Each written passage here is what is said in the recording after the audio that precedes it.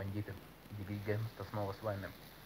Так, и наконец-то настал долгожданный момент, когда мы будем записывать долбанный тирлист. Пока по ходу дела, короче, надо посмотреть, во сколько я начал. Так, 20-20, грубо говоря, я начал. Надо его частями будет, наверное, записывать, потому что очень большой. По рунам ничего говорить не буду, потому что ну, тут все очень скомкано. И очень большой он тогда получится, если все про руны рассказывать. В общем-то, геморройно это все выйдет. По поводу РТА, не знаю, я, короче, чуть-чуть побил два рубина.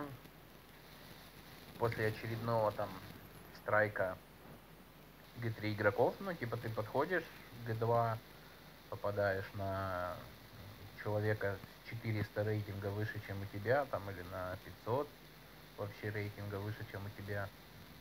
И он тебе там снимает 3, блядь, там, или 6 по какой-то, блядь, невообразимой логике. Это, я, я не понимаю просто, по какой логике это снимается. Вообще, абсолютно максимально нелогично это происходит. И вот после такой несколько серий я решил, что нервы дороже, и я больше не играл. Так, ну давайте, наверное, начнем по стихиям, по порядочку. Огонь идет первый. А, ну тир-лист написан игроком BTD. Я думаю, многие не знают, кто это. Это на данный момент, наверное, самый сильный корейский РТА игрок. Ну и вообще достаточно сильный игрок. Он там, в пятерку постоянно попадает. И парень крутой. И он, он был одним из тех, кто вел вот эту гейскую тему, очень жесткую гейскую тему, типа Ванесса, Русалка, Хатор, вот, то есть вот эту гомосятину он как раз таки вводил и активно продвигал. То есть и это перевернуло игру, к сожалению, не в лучшую сторону, но один из тех, кто первый начал использовать эту связку. И, в общем-то, испортил всем остальным жизнь на РТА. Так, ну давайте с аутсайдеров начнем. Это Феникс Тьмы, худший монстр. Ну да, наверное. На уровне Феникса Света. Феникс Света там же. Забавно, кстати. Я просто решил глянуть, где Фен Света. Ну там же, в помойке нашей. Ладно, пойдемте по огню. А, ну, в принципе, согласен, они все абсолютно бесполезные, абсолютно беспомощные, кроме раки. Тут я не совсем согласен, потому что раки сейчас используют как контрпик для Ванессы или для Перны активно. Используют, э, потому что зачастую, в общем-то, связки с Ванессой представляют собой что-то типа Ванесса Перна, Ганимед, там, ну что-то в таком духе, там, Вулса, блядь, ну и что-то в таком духе, в общем-то. И когда ты берешь что-то типа Тиану, Раки, там, Пастет, что-то подобное, ты, в общем-то, убиваешь цель очень быстро. А если парень банит тебе Раки, то ты получаешь какой-то комфортный пик. В общем, она используется не активно, но используется. И, ну, как минимум, заслуживает быть чуть-чуть повыше. Так, по поводу следующего, Б ранга, тут совсем согласен, кроме Кмуна. Кмун может быть чуть-чуть повыше, потому что он не настолько бесполезен. То есть игроки рангом пониже, да, то есть не в рубинах. То есть они активно пользуются этим Кмуном, и там он доставляет проблем на маленьких рангах.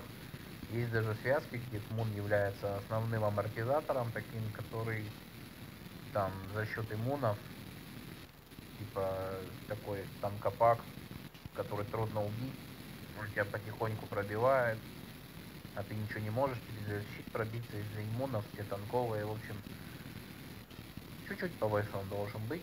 Так, здесь со следующим я в принципе со всеми согласен. Ну да, да, наверное, со всеми, даже с лайкой, потому что Лайка сейчас очень сильно сдал позиции. Он сейчас не так силен. Даже тот же Чоу, как по мне, чуть сильнее, чем Лайка выступает. Потому что, как сказать, Ну, в общем, как-то, не знаю, не вписывается он в текущие, в текущие вот мету игры, потому что все играют либо быстро, либо играют как-то медленно, под иммунами, в общем-то, где Лайка тоже ничего сделать толком не может, и когда игра затягивается, уже, как правило, он ничего не может. А если ты делаешь Лайку не в вампире, то его просто очень быстро убивают. И сейчас очень такие неприятные монстры для лайки на арене, там, ой, на РТА, там, те же панды, да, те же там, вот эти часун света блядские. Тот же, я не знаю, там, Океанос, Тесак, да, постоянно вот это все присутствует. Там, тот же Вират и Вуса, это вообще с пони водяной, это, это вообще ужас для него тити. Даже панда ветра та же, это очень неприятно. В общем, не любит он сейчас то, что происходит. И сейчас очень многие, большинство игроков играют через контроль.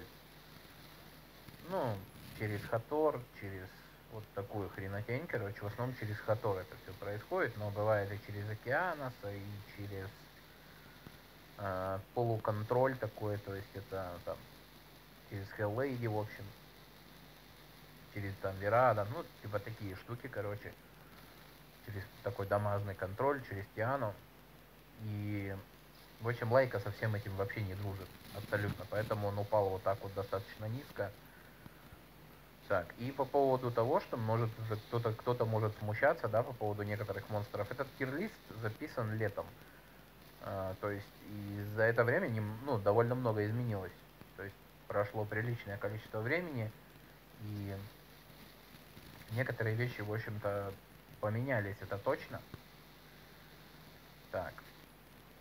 Ну и кто, кто не знает, да, BD это G3 игрок. Ну, в общем, можете открыть RTA ранг.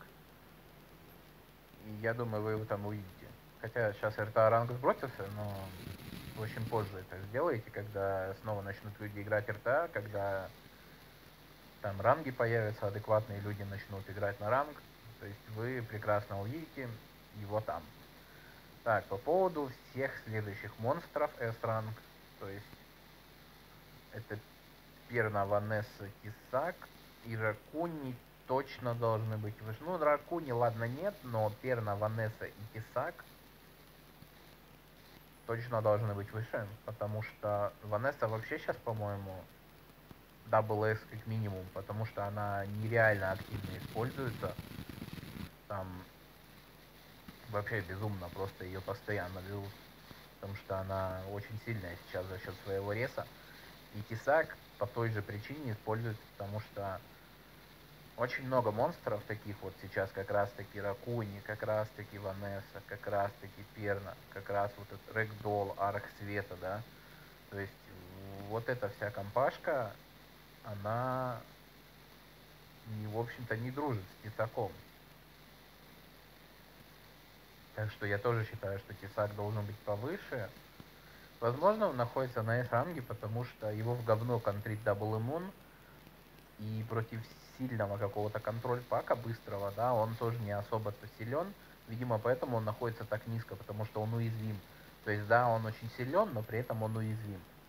Возможно, поэтому он находится так низко. По поводу Ванессы Перна я точно не согласен, потому что э, сейчас на РТА происходит такая тема, что сейчас играется в основном ветер.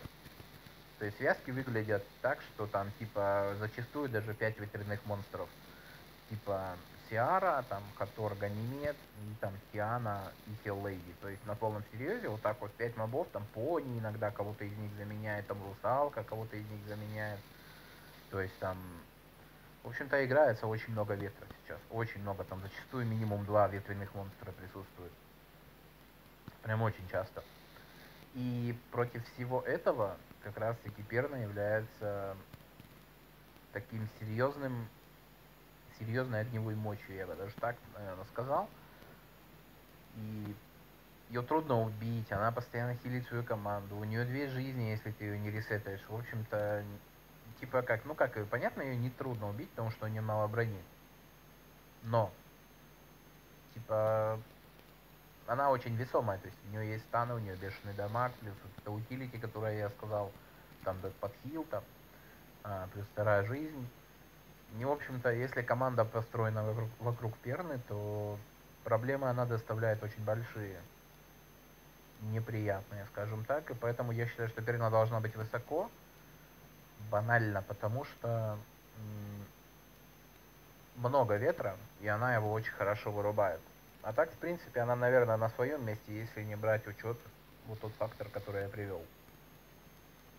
Так, по поводу обезьянной огня, почему она так высоко? Как раз по той причине, что в основном люди используют контроль паки. А против контроль паков как раз таки обезьяна очень хороша. Вика, ну, опять же, да, сейчас играется контроль, и Вика является отличным ее представителем. После того, как ее бафнули, она стала сильной, потому что замедление, станы, доты очень сильно дамажные. И ее проки с зонтика, когда она первым скиллом бьет, очень много проблем доставляют, когда на РТ этот зонтик ебаный бесконечно прок, этот вообще феерия, блядь. Когда она тебе две ульты за два хода дает, это до свидулики, прям сразу. Арх огня. Ну, арх огня с самого запуска РТА был сильным. И с каждым сезоном он становился только сильнее, сильнее, сильнее и сильнее. Сейчас, секунду.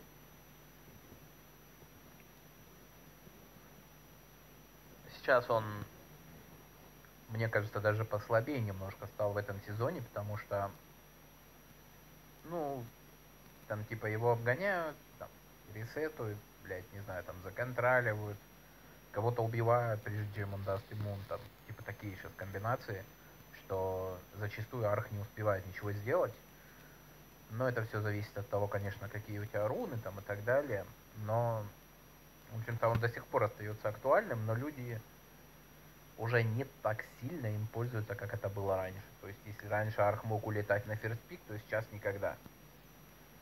По поводу Океануса я вот как раз таки наоборот не согласен. Мне кажется, он упал на ранг S. Ну, по крайней мере, Ванесса с Перной точно выше. Ванесса уж точно, а Перна тут 50 на 50.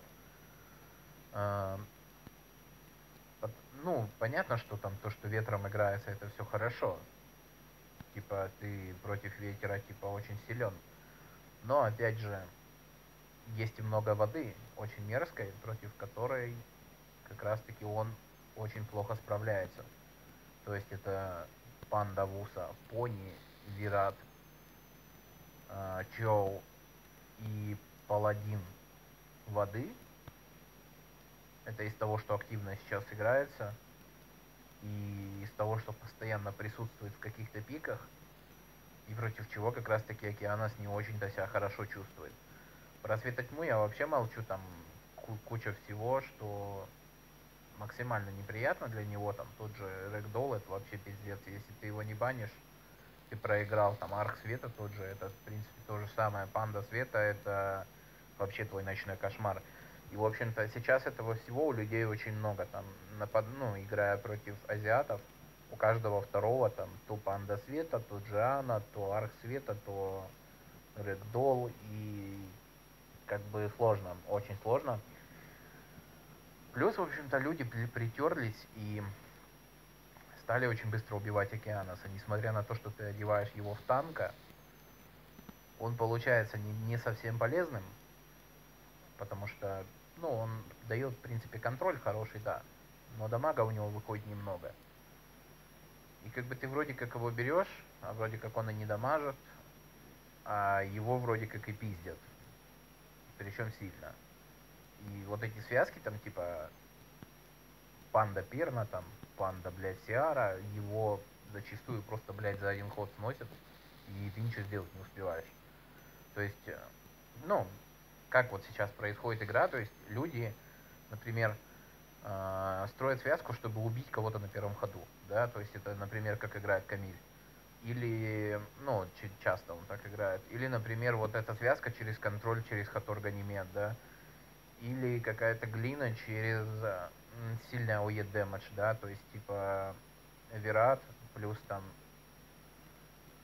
Ну, плюс, например, Hell Lady Ветра или плюс Анечка, да, какая-нибудь. Ну, Анечка это уже такой бюджетный вариант.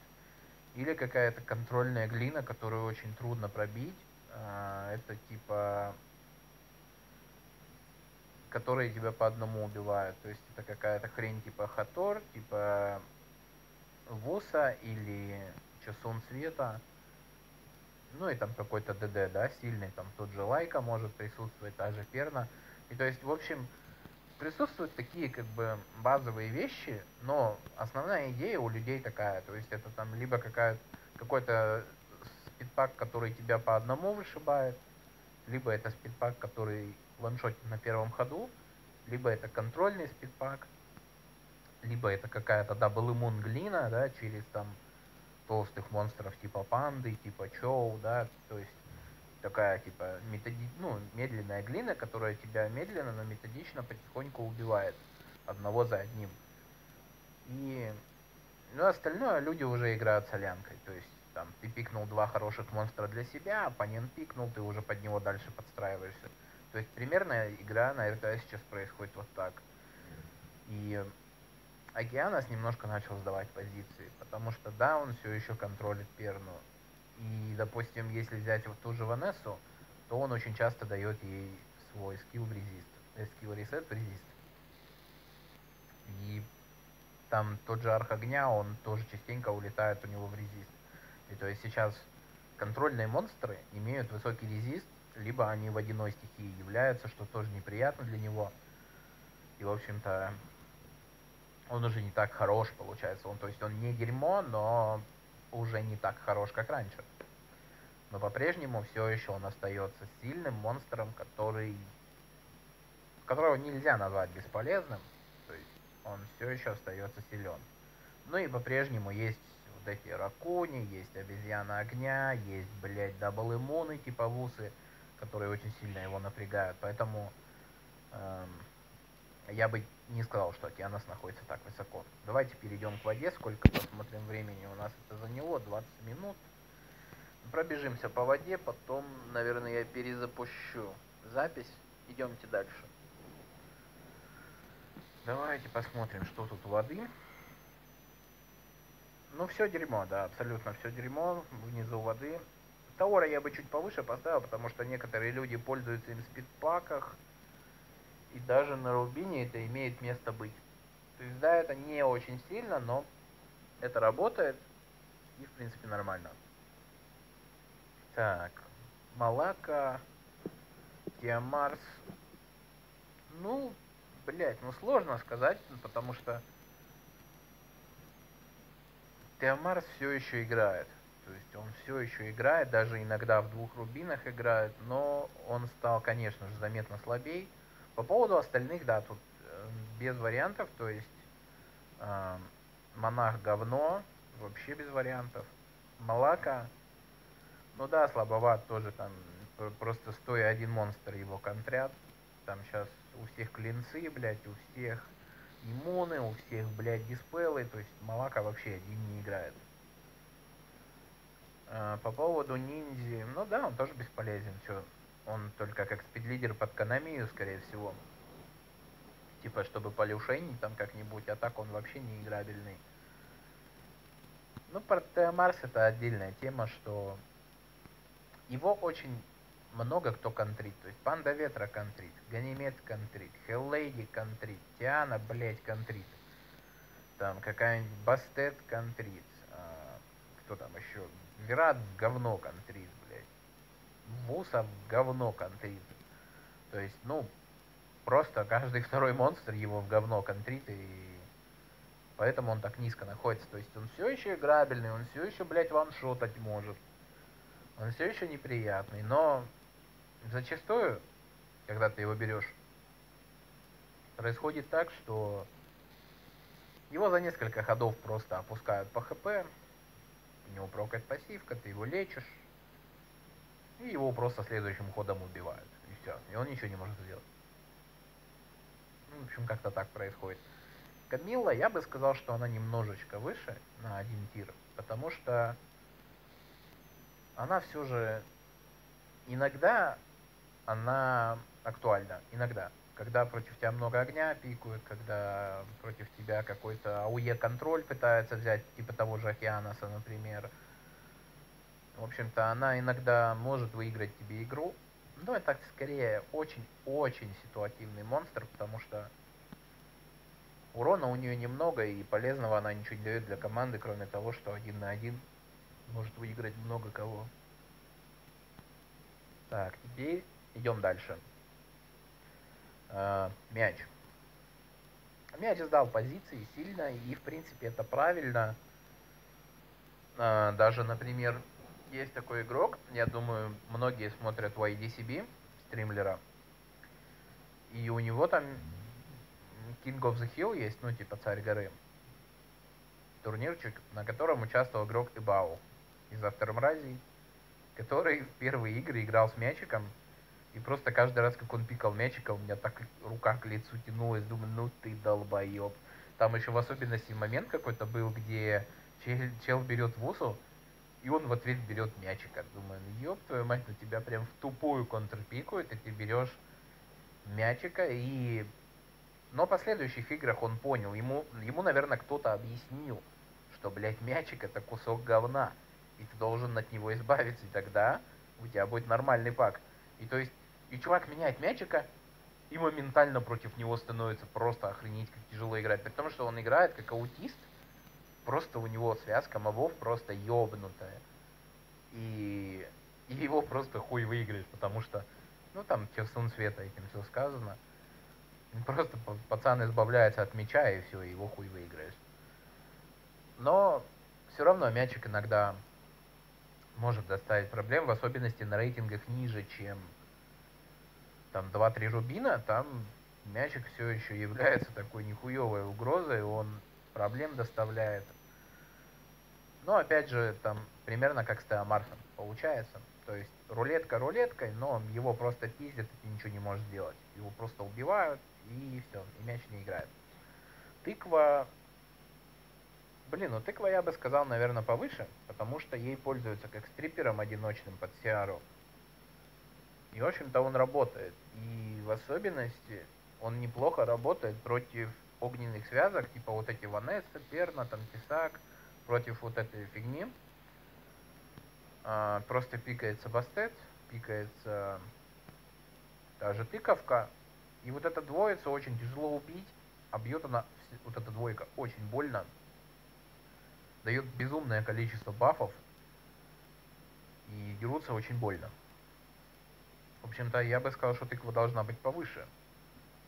Потому что она реально часто берется. То есть, да, в Г3 она не так актуальна, потому что там у каждого чувака там такой зоопарк, что просто ебанись. Но ниже, чем Г3, она активно играется. И играется достаточно сильно. И, и решает игры реально, потому что я сам на такое натыкался, я и проигрывал, и видел это неоднократно. В общем-то, не совсем согласен я с автором, но он в топ-5, а не я, поэтому ему виднее. А, по поводу Изарии, в принципе, согласен, но она редко юзается очень. По поводу Псаманна и Прахи согласен, но Праха мне абсолютно не нравится. Я мало матчей играл, где Праха бы действительно что-то порешала. Очень мало. По поводу обезьяны и воды вообще не согласен я не понимаю вообще, типа, к чему она здесь и где она может быть актуальна. То есть, если я вижу он там справа обезьяну света, да, я согласен, обезьяна света нормальная тема. Но, блядь, вот это обезьяна воды, что, блядь? Тут я... Я не понимаю, пишите в комментариях, если вы знаете какой-то секрет, блядь, про обезьяну воды. Я его не знаю, считаю ее полной хуйней и, по-моему, по праву. Потому что я ни одну нормальную не встречал. И свою одевал, польза она не особо приносит. В общем-то, я не знаю. Я не знаю, нахуя она здесь. А по поводу Анечки, да, нормально, она сдала позиции, но все еще играется в глинопаках. Либо играется как такой запасной вариант для снятия дебафов. То есть ты банишь чужого стрипера, берешь ее, молишься, чтобы там Хатор ее не усыпила, и, в общем-то, будешь всех через нее, либо там молишься на ее проки, в общем, как-то так она играется. Ну и очень такой рандомный монстр, то есть она может на прокате выиграть игру, а может вообще ничего не делать всю игру.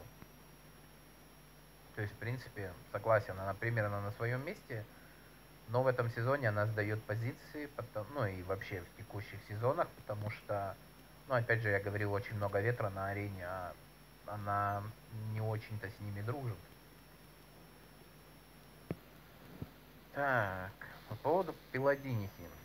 Не согласен я, Пиладиниха должна быть точно выше, потому что люди сейчас ее начали распробовать, но это тирлист летний, когда Пиладиниха была только-только добавлена, ее не раскусили, по-моему, там даже какой-то баф был Паладинихи сделан, и, в общем-то, сейчас люди очень активно пользуются паладинихой. Немного, но активно.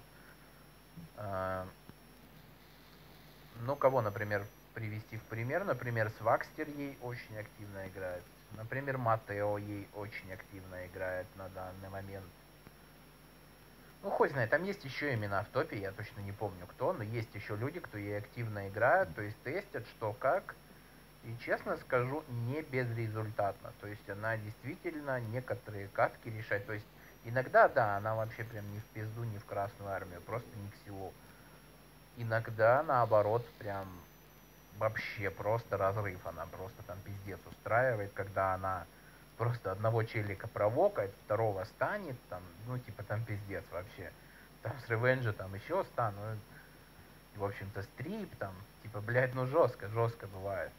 Плюс она там щиточек, щиточек за каждый контроль, блядь. Это, в общем, рабочая, рабочая реальная тема. Я еще сам не до конца понял ее механику. Так, и... В общем, но она должна быть точно повыше, потому что не совсем понятно, как ее именно очень правильно использовать. То есть, ну, понятно, что против дебафов, да, понятно, что она типа как плюс один стрипер, с контролем одиночным, но пока, ну, пока у тебя ее нету, в общем, хуй пойми, как ее юзать. Когда она у тебя появляется, да, там, наверное, понятно, как там, типа, против иммунов или там против контролей она актуальна, но на бумаге вроде как неплохая, и на деле вроде как тоже неплохая. И должна быть повыше. Но против меня брали, она ничего не делала, но у меня пак такой, что она ничего и не будет против меня делать, кроме как стрипет, стрипать и там как-то напрягать контролем одиночным. Но это опять же такое. Так, Чоу. Чоу, да, примерно на своем месте, то есть такой танкоглина монстр, который больно пиздит, и которого достаточно трудно убить, то есть э, я считаю, что он даже должен быть чуть выше, чем Лайка, да, но, наверное, все же он на своем месте. Сейчас, секунду.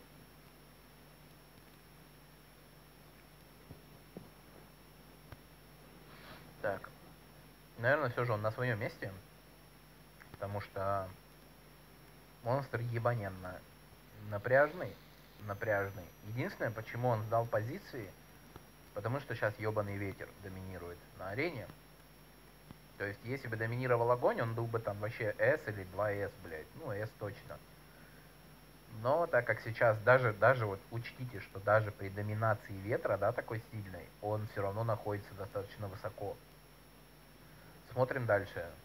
А, по поводу Океаноса. Ну, не знаю, я не согласен. Мне кажется, он ниже должен быть. Потому что... Ну, там просто чувак против тебя пикает панду ветра, пони ветра и все, Океанос на Сосимару делает. Там про Ганимеда с Лео, там я, блядь, вообще молчу про Тиану, там это вообще забей. В общем, если там еще какую-то пассивную хуйню чел напикает, ты вообще просто говна поешь. Прям знатного. В общем, не знаю, по мне Океанос должен быть вообще в жопе. То есть где-то А или ниже, чем А, блядь. Он, он актуален только в связке там с какой-нибудь Тианой. Да и то это как бы такое. Не самое сильное в общем-то. Хотя, может, как раз-таки вот связки с Тианой и Лейди Ветра, это все очень жестко работает, но не знаю, в общем, я не видел прям супер крутых связок. То есть, да, меня пиздили этим океаносом, но в основном это происходило, в общем-то, не потому, что чел там что-то крутое пикнул, а потому что или я говно пикнул, или мне нечем просто ответить было на определенный пак. По поводу русалки Виве воды. Я вообще не согласен, я считаю, это полной хуйней, а не монстром. И она играется только с Тианой. Во всех остальных паках я ее не вижу, и даже с Тианой я ее не вижу. То есть это полное говно. Единственная причина, по которой она находится так высоко, потому что ебаный ФВА, господин ФВА ее распиарил. Но на деле этот монстр полное говно. И он это наглядно доказал, что когда он играет на турнире с игроками своего уровня, хотя на турнире он играл с игроками ниже своего уровня, он пикал ее и в говно проебывал, и она ничего не делала. То есть, когда ты играешь против игроков ниже своего уровня в ладдере, и ты там берешь, типа, там безумную связку, типа, блядь, Тиана, Ганимед, Панда воды, там, блядь, Вуса, и там, типа, после этого ты еще такой раз русалку. И там челик тебе банит, там что-то, ты, ты типа такой выигрываешь, и такой, блядь, как же русалка хороша, мать его, блядь, как круто. Какой сильный четырехзвездный монстр, спасибо, Комтуаз, что вы такой кусок говна добавили. И на деле, блядь, кто бы там не был, блядь, даже если бы это был пятизвездный, э, четырехзвездный пром, блядь, не четырехзвездный, в смысле пром. Это темный хуй света. Не темный хуй, светлый хуй свет. Смерть света, блядь, ну я не помню, как он называется, короче. Как он же, сука, называется? Трейн. Ну, в общем, Трейн и Пром эти два монстра, я не помню, как они называются. В общем, даже если вот эти хуи были бы, это был бы тот же самый эффект, и вообще бы ничего не изменилось. И, то есть, ну, дело тут, блядь, не, не в крутости русалки, а в том, что у тебя, блядь, Диана Ганимед дебил.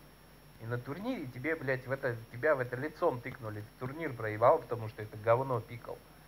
В общем-то, поэтому я не согласен, что русалка сильный монстр, полная хуйня, вообще неиграбельная. И в пизду ее так вот я отодвину. Нет, не так. Ну, лучше к центру сдвину. А, Бастет, да, да, S. Очень, очень сильный монстр. Там все спидпаки через нее играются. Всякие ваншот паки тоже через нее активно играются. Монстр ебанись какой крутой. Я бы даже, наверное, 2S ее поставил. Но тут другая тема в тир-листе. Там типа SSS это год тир и тут типа только вообще прям геймбрейкеры. А СС это типа кто... First pick, first ban, я так понимаю. Ну, да нет, вроде не first pick, first ban, ну хуй знает, я не знаю. Ну, в общем, СС это тоже пиздатые. Но S это чуть пониже, ребята. Да, Бастет супер, вообще без комментариев. Она... Вот это как раз монстр, который мне очень нравится тем, что в любой пак она заходит, какой хочешь. Типа, какой хочешь пак берешь, и бастет в него заходит и выходит, нахуй, как Винни-Пух. Не, не Винни-Пух, это Ослик, да, как по-моему, говорил, входит и выходит. Ну хуй с ним, пусть будет Винни-Пух. Так, по поводу Вирада. Вирад сдал позиции сильно, то есть он был гибанист, но сейчас он сдал позиции, потому что